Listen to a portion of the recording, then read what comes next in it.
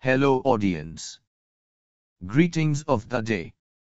Today we will discuss about the protecting signal lines against electromagnetic interference, EMI. In today's dynamic industrial environments, electronic devices, signal and power wiring, and other electrical or process equipment often interact to create noise or electromagnetic interference, EMI, problems, which can degrade critical measurement and control signals. Proper grounding and shielding techniques can help reduce or eliminate these problems and maintain signal integrity. Three basic elements are required in order for a noise problem to exist. First, a noise source to generate the noise. Second, a receiving device, which is affected by the noise. Third, a coupling channel between the source and receptor. The objective in electromagnetic compatibility is to minimize, divert, or eliminate one of the three elements necessary for a noise problem. Now we will discuss about the methods we used to protect signal lines against EMI. Capacitive coupling. Any piece of equipment or wiring can develop an electric charge, or potential, which can be expressed as a voltage. If this charge changes, then a changing electric field is generated which can couple capacitively to other equipment or wiring. Capacitive coupled noise can be modeled as a current as shown in figure. This type of noise is dominant when a circuit or termination has a high impedance because the noise voltage generated at the receiver is the noise current, IN, times the receiver impedance, Zin. An easy and effective way to minimize capacitive coupled interference is to use cable shielding. The shield is a Gaussian or equipotential surface on which electric fields can terminate and return to ground without affecting the internal conductors. Shielding is only effective against electric fields if it provides a low impedance path to ground. A floating shield provides no protection against interference.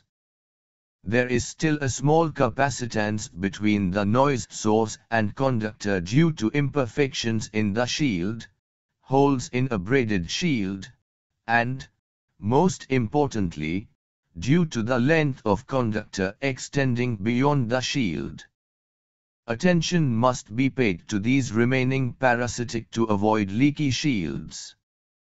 The correct place to connect an electrostatic shield is at the reference potential of the circuitry contained within the shield.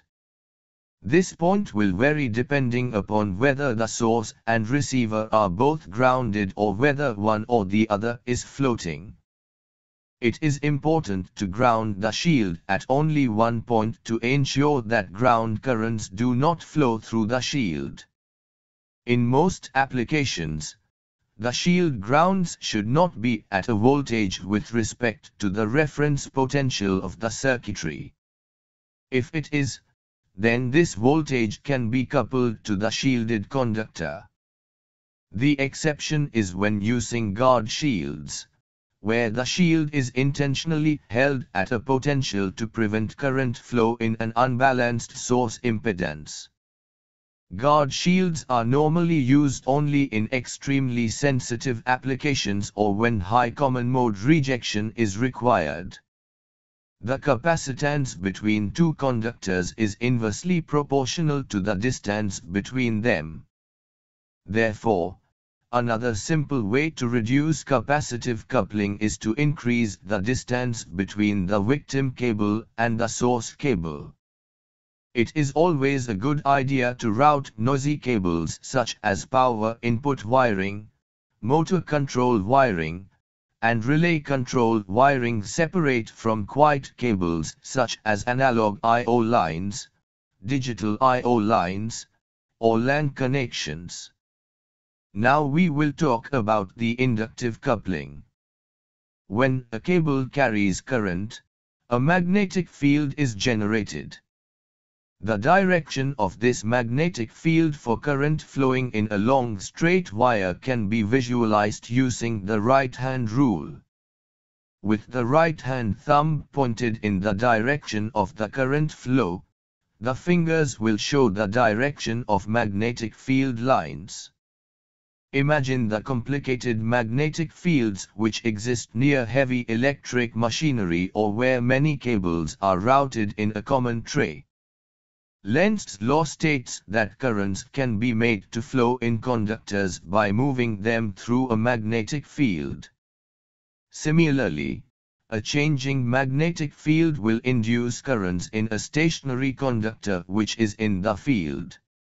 Since most wiring is fixed in place, varying currents are the usual cause of magnetic coupling. Two types of loss, reflection and absorption, characterize how a shield works. Reflection loss is related to the ratio between the electromagnetic wave impedance and the shield impedance. Absorption loss is directly proportional to shield thickness and inversely proportional to shield material skin depth.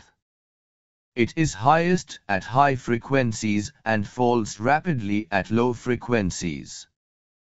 Fortunately, there are other ways to reduce magnetically coupled interference besides shielding. Loop area can be reduced by routing the conductors, which form the loop closer together, or by reducing the length of the conductors.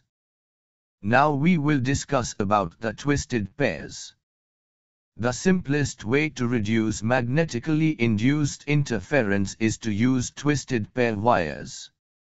This applies both for shielded and unshielded cables and for interference caused by shield currents or from other sources. Twisting the wires forces them close together, reducing the loop area and therefore the induced voltage. Since the currents are flowing in minimum loop areas, magnetic field generation is also reduced.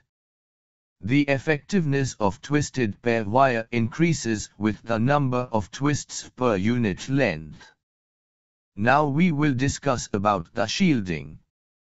Many potentially effective shields can be destroyed by improper termination of the shields to ground. A low impedance path to ground is essential in order to realize maximum shielding benefits. Pigtails connections from a shield to ground have inductance, resulting in an impedance, which increases with frequency. This type of connection will work at frequencies below 10 kHz but it will cause problems at higher frequencies. The use of short connections with large cross-sectional area minimizes the inductance of a pigtail, but the best connection is a 360 degree contact between the shield and connector or chassis. Solid shields provide the best theoretical noise reduction solutions but they are more difficult to manufacture and apply. Most cables are instead shielded with a braid for improved flexibility, strength, and ease of termination. Braided shields are less effective than solid shields because they only provide between 60% and 98% coverage of the cable. Decreased effectiveness is more prevalent at high frequencies where the holes in the braid are large compared to a wavelength. For maximum shielding, reliability, and ease of use, cables with combined shields are available which use both a solid layer and a braided layer. Now we will discuss about the grounding. A ground system must be considered from the beginning in order for the circuit or system to work in the intended environment and pass interference, emissions, and safety requirements.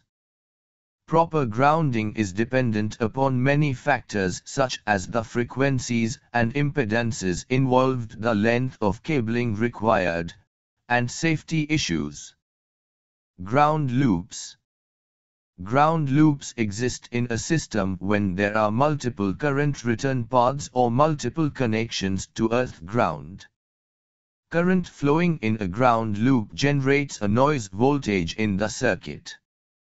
The most obvious way to eliminate the loop is to break the connection between the transducer and ground or between the receiver and ground. When this is not possible, isolation of the two circuits is a universal way to break the loop.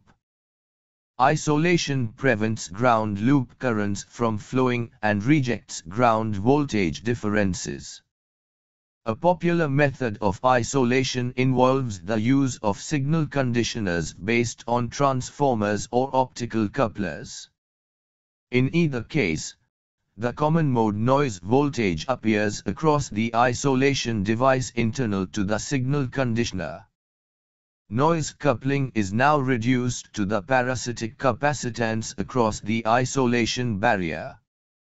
Typical coupling capacitance in an optocoupler is 2 picofarad, or 0.5 picofarad for shielded devices.